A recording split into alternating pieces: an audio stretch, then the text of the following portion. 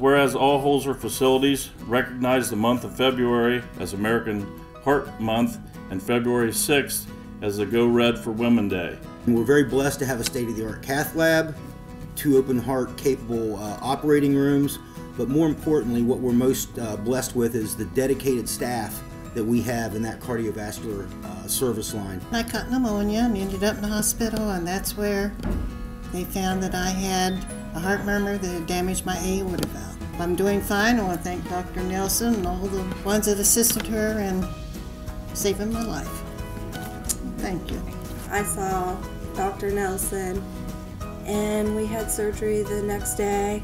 She took a mass out of my heart and saved my life. They flipped the switch and they have officially lighted our Heart for Heart Month. I want to thank Dr. Rayani, Dr. Nelson, Dr. Bradley, and, and, and the entire team uh, for what they do uh, here at Holzer. Uh, we're very proud of this team and uh, we appreciate them very much.